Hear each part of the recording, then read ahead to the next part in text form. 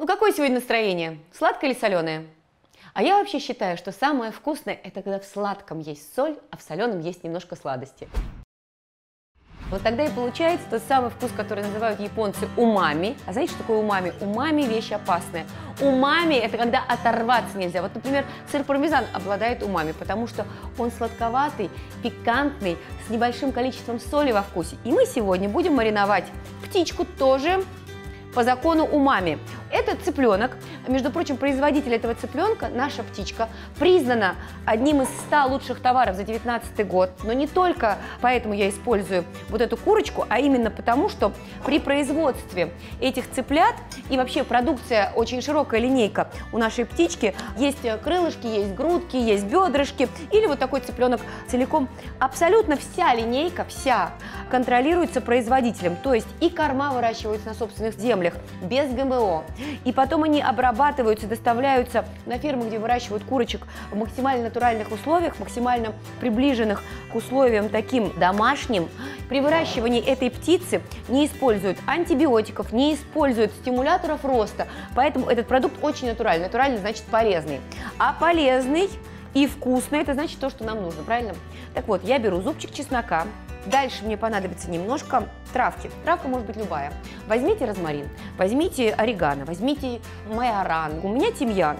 Тимьян вообще такая нейтральная история, почти как петрушка, но только ярче и вкуснее, на мой взгляд, и уместнее как раз для маринадов. И пахнет тимьян ну, такими какими-то цитрусовыми прекрасными нотами.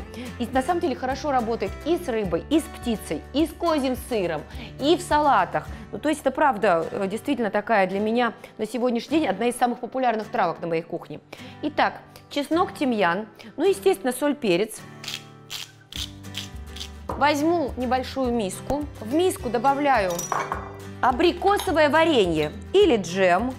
Вообще сочетание э, курицы с фруктами это очень грамотное сочетание. Ну, как, впрочем, и утки тоже. Мы же любим утку с яблоками, правильно? Или утку с вишней, или утку с клюквой. То есть вот эта вот история кисло-сладкая с птицей работает очень здорово. И вот мы сейчас тимьян, чеснок, соль добавляем к абрикосовому джему сначала. Сюда же немножко перца. Все это перемешиваем. Лимон Сначала цедра на мелкой терке. Вот этот вот насыщенный, самый главный вкус нашего маринада абрикос, он становится более нежным благодаря конкретно лимонному соку, но при этом лимонный сок не выступает на первый план сам. Вот поэтому происходит такая прекрасная оттяжка. Сок половинки лимона, опять вымешиваем, все перемешиваем. И нужно добавить сюда какое-нибудь масло. Вообще, на самом деле, можно добавить сливочное масло, но можно добавить масло растительное, без такого слишком яркого аромата, если мы говорим про подсолнечное масло, потому что подсолнечное масло, если честно, конечно, не будет э, дружить с абрикосами, тут совсем какой-то диссонанс. А вот яркое оливковое масло будет дружить и с тимьяном, и с абрикосами, да-да, и с абрикосами, и с персиками, и, конечно же, с чесноком, и с лимоном, который из цедры, который мы сюда добавили. Вот посмотрите, получается у нас вот такой замечательный маринад. Этим маринадом мы вот так вот массируем нашего цыпленка и снаружи, и изнутри, как можно больше. Лучше, конечно, если у вас есть хотя бы час времени, чтобы цыпленок в этом маринаде полежал, можно сделать это на ночь. Можно замариновать его накануне вечером и отправить в холодильник. Натерла цыпленка, уложила формочку. И минут 10 он у меня так постоит, пока я займусь остальными добавками к этому цыпленку.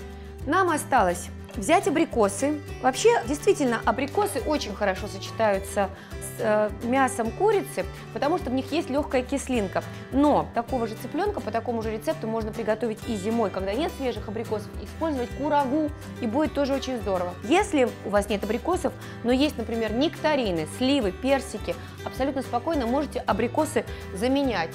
Эти абрикосы, часть из них отправляем вот сюда, вовнутрь. Кстати, хорошая идея, только что пришла мне в голову, добавить сюда же крупные кусочки луковицы. У меня шалот, ну вообще любой лук подойдет, лучше, чтобы лук был послаще. Если любите острое, то как раз а, в сочетании с абрикосами а, перец чили очень хорошо будет работать. Оставшиеся абрикосы вот так вот выкладываем в форму. А дальше немного соевого соуса, пару столовых ложек, Еще оливкового масла. Не забываем про фрукты. Чеснок целиком. Вообще можно даже взять целую головку чеснока и не очищая от кожуры, прямо так разрезать вдоль пополам и положить, тоже будет здорово. И теперь немножко перца и соли. Оставшуюся половинку лимона разрежем вот на такие части и тоже отправим запекаться. И сверху все украсим листиками, вот такими веточками тимьяна. Моя птичка готова. Отправляем в духовку, температура 190 градусов. Выпекается она до полной готовности, естественно, курица должна быть абсолютно проготовленной. Моя будет выпекаться где-то минут 35-40, но все зависит от того, какого размера ваша птичка. Ну вот прошло 40 минут на самом деле, потому что моя такая пухленькая птичка должна была получить вот эту золотистую корочку, вот это обрамление. А посмотрите вы на этот соус самый элементарный отваренный рис просто, картофель, гречка, макароны. Не надо даже думать о том, чем мы будем заправлять этот гарнир, потому что у нас есть такой прекрасный соус от этой курицы. Ну и для любителей посмотреть на все в разрезе прилагается бонус. Вот так вот, посмотрите, какая красота. Какая красота. Какая вкуснота. Мне кажется, даже если люди никогда в жизни не испытывали никакой страсти к птице, то здесь к нашей птичке страсть должна проснуться, честное слово. Так что всем сладко-соленого настроения и прекрасных выходных.